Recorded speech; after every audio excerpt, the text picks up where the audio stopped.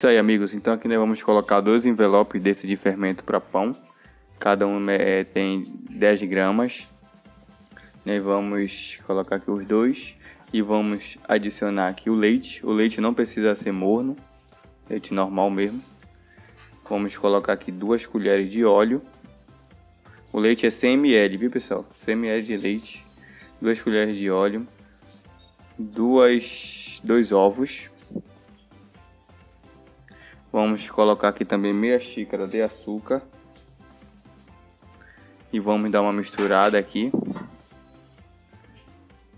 Faça desse jeito, pessoal. Vai ficar muito bom o seu pão.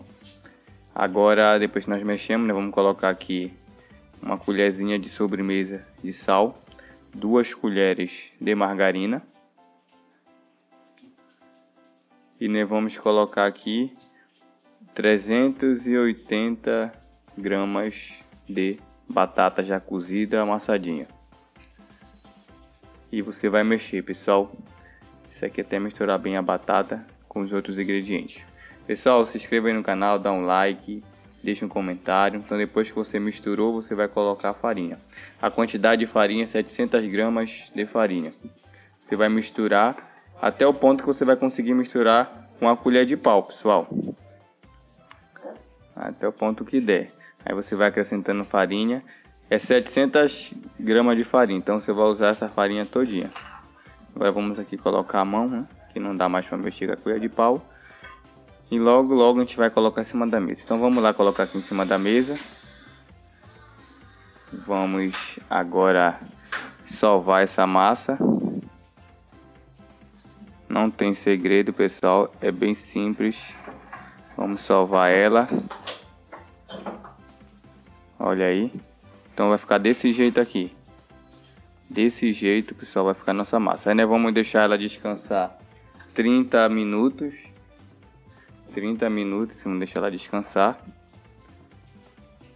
E após 30 minutos ela vai ficar desse tamanho, pessoal, olha. Pronto, aí nós vamos fazer o que?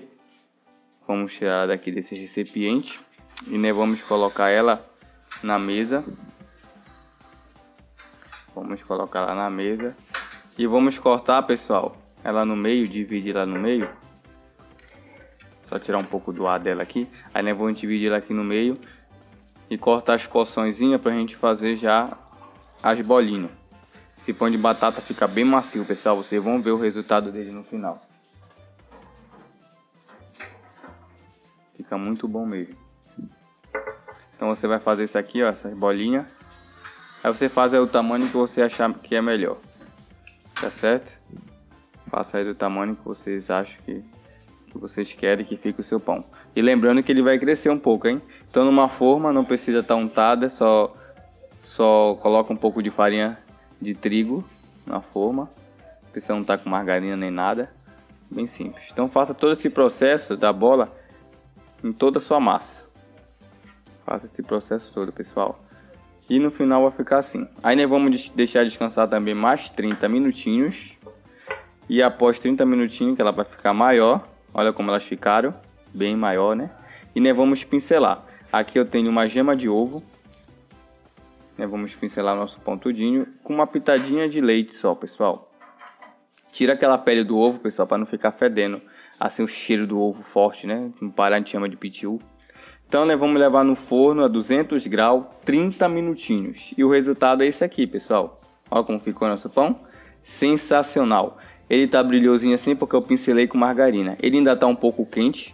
Chega de tá fofinho, ó, macio e tá saboroso. O cheiro também fica espetacular. Eu vou cortar porque estão pedindo para mim cortar os pães. Então é isso aqui, pessoal. Se você gostou, deixa um joinha, se inscreva no canal e deixa um comentário super da hora aí tá certo? Um forte abraço e até o próximo vídeo. Valeu, tchau, tchau.